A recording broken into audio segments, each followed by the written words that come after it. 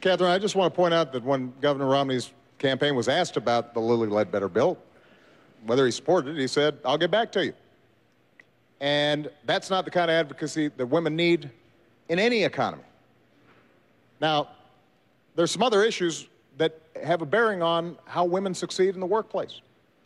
For example, their health care. Now, a major difference in this campaign is that Governor Romney uh, feels comfortable having politicians in Washington decide the health care choices that women are making. I think that's a mistake. In my health care bill, I said insurance companies need to provide contraceptive coverage to everybody who's insured. Because this is not just a, a health issue, it's an economic issue for women. It makes a difference. This is money out of that family's pocket.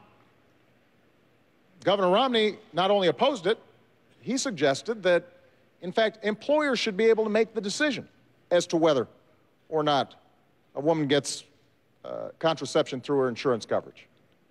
That's not the kind of advocacy that women need. When Governor Romney says that we should eliminate funding for Planned Parenthood, there are millions of women all across the country who rely on Planned Parenthood for not just contraceptive care, they rely on it for mammograms, for cervical cancer screenings. That's a pocketbook issue for women and families all across the country. And it makes a difference in terms of how well and effectively women are able to work. When we talk about childcare and the credits that we're providing, that makes a difference in terms of whether they can go out there and earn a living for their family. These are not just women's issues. These are family issues. These are economic issues.